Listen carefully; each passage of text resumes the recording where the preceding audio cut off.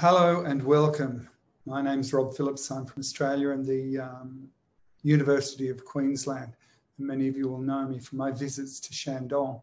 So welcome to the 15th Academic Conference of Critical Care Medicine and the Shandong Pathophysiology Society. I'd like to start by apologising for not being able to join you in person, but uh, the title of this uh, presentation today has intervened and I'm caught in quarantine. But my spirit's with you and I can share my ideas.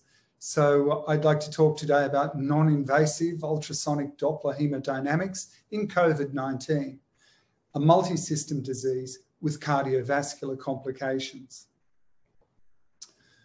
So I'm sure you're aware of most of the features of the disease, but it's highly infectious. Estimates are that it may infect up to 10% of the world population. It's a pulmonary infection with cardiovascular complications and ranges in severity from asymptomatic to fatal. It's also a complex disease. It's sepsis, pulmonary, cardiac, vascular, thrombotic, immune complications, all sorts of complications associated with this disease. And unfortunately, it has persistent symptoms. Until this stage, we know that it continues with significant complications for at least three to six months. And also, there is no cure. If we look at history, it tells us a little bit about what we can expect. And in 1918, the Kansas, uh, um, the Kansas virus infected 500 million people, which was nearly a third of the world's population at that time. There were 50 million deaths and 50 million deaths and 675 50 million infections and 675,000 deaths in the US they ended up with the same treatments mask, isolation, quarantine, personal hygiene, and disinfectants, and limitations of public gathering. So it's an infectious respiratory tract viral infection, which we haven't seen before. 90% of patients are asymptomatic. But the COVID 19 syndrome is a thromboinflammatory process that, that initially affects the lung perfusion, but consecutively affects all organs of the body, with perhaps 5% of infections becoming quite serious. And here we see the ground glass consolidation in the dependent portion of the lung, which may involve 20 to 50% of the lung, obviously inducing syncope. And then the complications of bilateral lobar and segmental pulmonary emboli in the images below. It's common currently, and uh, there are in the estimate of 40 million um, infections glo globally, um, and it's still rising. And if we look at the national distribution, the US is uh, far in advance of India, Brazil, and China still has very modest numbers of infections comparable to the rest of the world. It's also a dangerous condition. And here we see the plot of deaths over time. And again, the gradient continues. And uh, there are over a million, 1.1 2 million deaths currently, and it's continuing to rise. But if we look at deaths globally, we don't see a pattern so much. US, Brazil, India, and China with still quite a few um, relative numbers of mortality. So there's no emergent uh, understanding of how the disease impacts communities.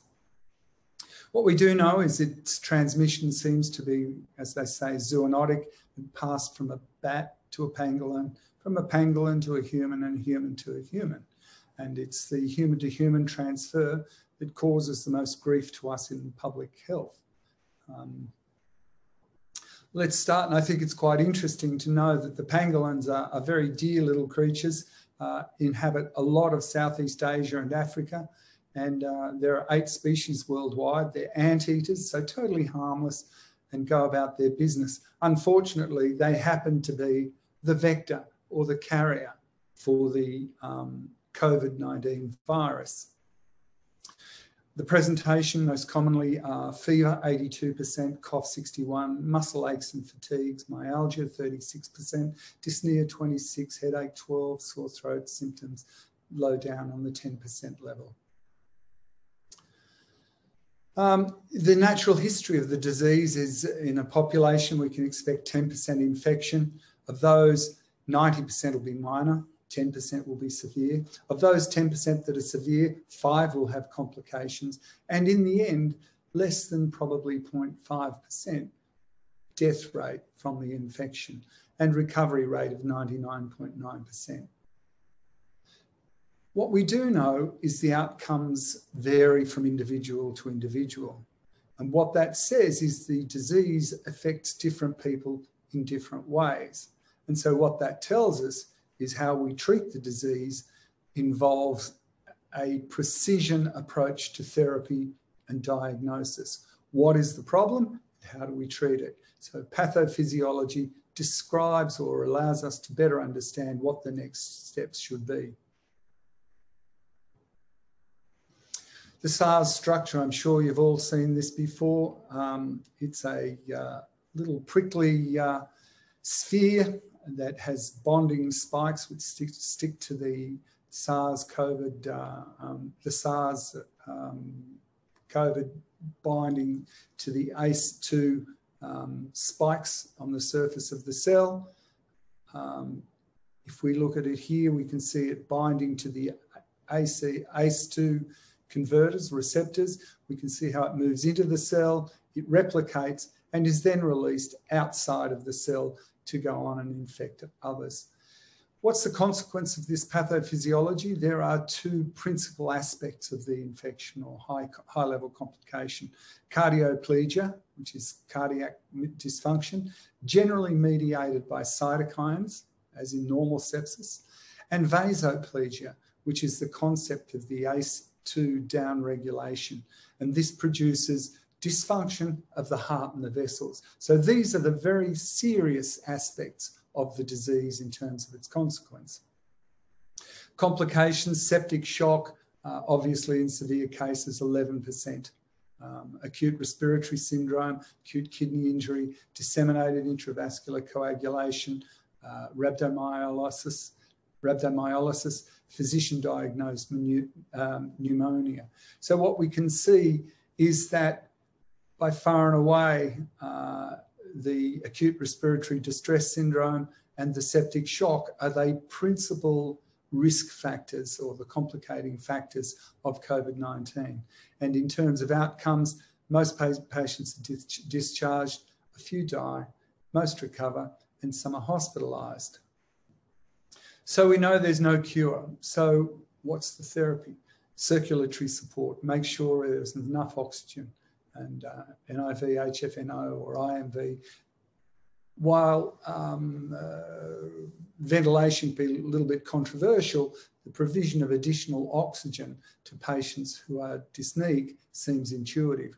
Obviously, cardiovascular support when you're getting uh, septic cardio and vasoplegia requires vasoactives, inotropes, fluids, and uh, in some instances, pharmacologic thromboprophylaxis to diminish the impact of the um, thrombosis. There are sundry experimental um, interventions and therapies, many of which are complicated and have very poor evidence, but the, the uh, research is ongoing. There's a lot of optimism about vaccines, and there are 42 candidates in clinical trials with more than 150 vaccines in preclinical trials, and yet only two are at phase, only um, a few are at phase two human trials, and uh, none yet have been uh, released as a cure.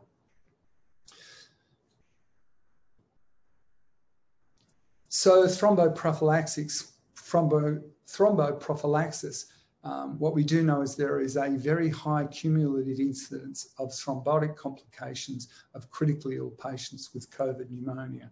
And the graph on the right shows that follow-up days in ICU has a gradually increasing number of thrombotic complications. And so there are disturbances to both the uh, vessels, the vessel wall, and to the blood itself. Uh, in ventilated patients with COVID-19 associated vasodilation, um, patients have administered, uh, researchers have administered angio, um, angiotensin 2 converters, which preserved BP and increased and um, oxygen supply and decreased FiO2. And this was without harm. So this is quite an experimental approach and is addressing the bonding of the COVID spikes to the ACE2 receptors, which produce um, vasoplegia. So administering angiotensin 2 uh, actually vasoconstricts and acts against the ACE2 um, vasoplegia. There are other observations which are uh, uncertain as to how we should use them, but the study um, from uh, Yueling Ma et al. showed that uh, temperature variation and humidity may be important factors affected the affecting the COVID-19 mortality. But again, this needs more research and understanding. Ventilation would seem, intu seem an intuitive means of um, managing COVID. Um, short of breath, then you ventilate the lungs. However, uh, ICU mortality has been reported with non-invasive ventilation at 80% and in mechanical ventilation, 90%. So what this tells us is that ventilation alone is not curing this um, disease or not necessarily therapeutically beneficial. So the damage, uh, there is some thesis that uh, ventilation may actually be causing damage. And this damage may be related to poor ventilator calibration, inappropriate ventilator pressures, rates or volumes, or variable lung conditions of patients. Some people may have excessively inflamed and responsive uh, lungs and uh, pressure um, ventilation may cause damage to those lungs and ultimately increase mortality. Post-recovery lung dysfunction, and this is uh, one of the disturbing aspects of COVID-19, and that is um, 12 to 17% of ICU cases, COVID cases, treated with supplemental oxygen um, had restrictive spirometry at 8 to 12 weeks. So these are people who have probably got evolving pulmonary fibrosis. Now, we don't know how long that evolving pulmonary fibrosis will continue for or when it will stop. But what we know is at the end of three months, these people have restrictive lung physiology, and this may impact on their lifestyle and their future life expectancy. Um, and until we know more about it, we don't know how to manage this um, evolving, potentially very dangerous aspect and complication of the disease. Um, there will be um, spirometric monitoring of these folk increasingly at home to better understand how uh, a chronic, acute transfers to chronic and then the evolving stages of pulmonary fibrosis. So this will be required for us to understand the second phase of the disease, the COVID-19 recovery phase. Comorbidities have uh, been reported to play a very substantial part in the history and the outcomes of um, uh, of COVID-19. And it was very early on in the piece that uh, researchers from Wuhan identified that those patients who had pre-existing cardiovascular um, conditions did a lot worse than those who had pre-existing pulmonary conditions, which is enigmatic because it's a pulmonary infection. Surely having asthma and COPD and smoking would significantly increase your risk of death.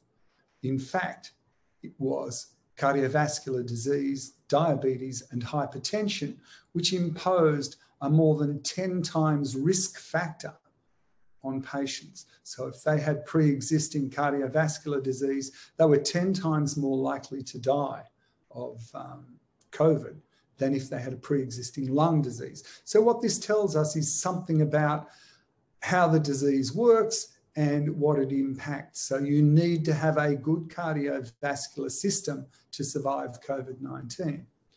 The Wuhan data, as I said, um, from Dr. Shi and uh, associates demonstrated that the percentage ventilation on uh, cardiac impaired patients was 46%, while for cardiac normal patients, it was only 4%. Invasive ventilation was 22%, well, 4% for cardiac normal, and mortality was much greater at 30, um, 36%.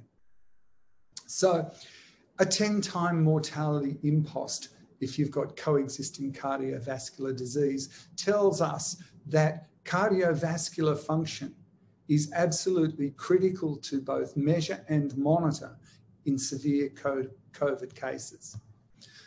Wuhan data was followed up again, and this was a more specific study that looked at the uh, troponin T levels as a surrogate of uh, cardiac damage. And again, what they found was if you had uh, troponin T and uh, cardiovascular disease, you had a 70% mortality. That's 10 times that of no cardiac disease. And it's very, very high disease. So managing the cardiovascular complications of COVID would seem to be really quite critical. Now, if we look at um, natural history and we look at the incidence of cardiovascular disease by um, age, what we see is as you get older, it gets more common.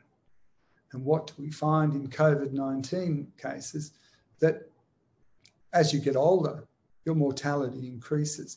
So there is a very close correlation and relationship between mortality and morbidity and cardiovascular disease and mortality of COVID 19